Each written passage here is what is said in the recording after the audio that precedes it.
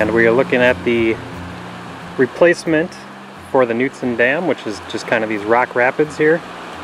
And uh, probably just uh, pull my kayak over the, the side of them here, but uh, you should probably be able to portage right over on the, uh, uh, if you're coming up on the dam on the right side of it.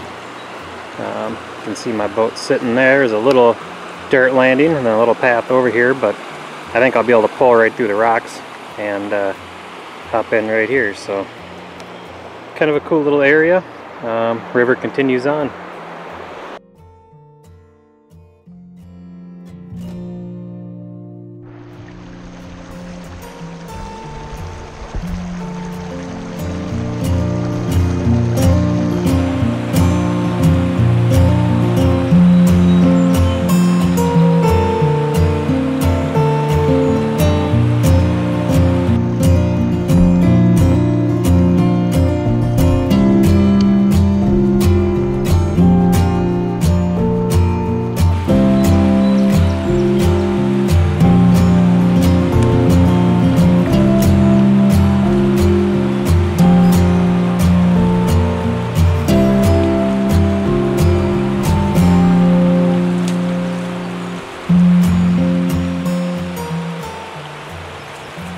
To.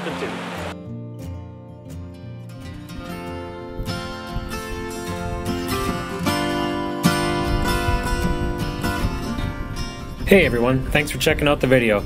If you are paddling the Mississippi River, throw a comment down below. I'd love to hear about your adventure. I'm always grateful to have new subscribers and hope that you'll consider being one of them so that I may continue to share my experiences with you. Take care and we'll see you on the next one.